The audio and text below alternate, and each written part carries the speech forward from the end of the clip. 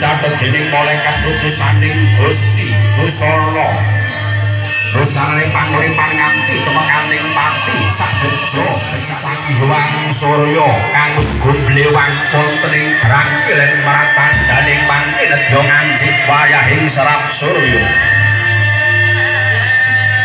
Jroning serap surya tan ana sambeting kandha tan ana sambeting carita ingkang katingal hamung sawangan kuning gumrining para sunarene sang hyang surya yayah kencana sinangling kang wis pinajar amajari madya padha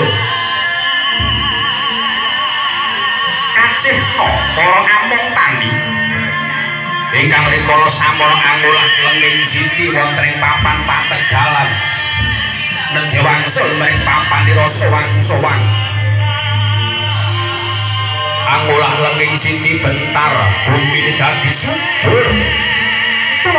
Tinandur sempulur ingkang pinacak merajak karang kintri andati woy ambyek hangepopo Usang ambon sanggon-gon pelem golek nyamper tonggo jiwa. Ingkang sadaya ora kapi temrah gesangila jalma manungsa. Ingkang wonten ing papan punika belane den wastani papan ingkang gemah rimpah oh jinawi karta tapa tulung raharja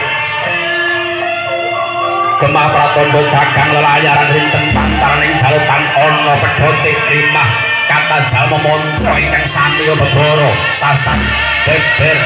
Cukit abeng tepung karitis papan biara sampun kapinarupa para saking raharjaning negeri karto toto para mantri bupati lengening projo ingkang samya kontak mangulah saka pangrasaku iki ora ana bedane bune ora ana bedane padha bobote padha derajate Kulo aja nganti ana carane banci bancilan dan bebeda cara. Pun nyami sira jroning bali wismaya bune aja manggep putra mantu anggepen putramu pribadi arep lestari dodo ya bune kulingin bapakne kula.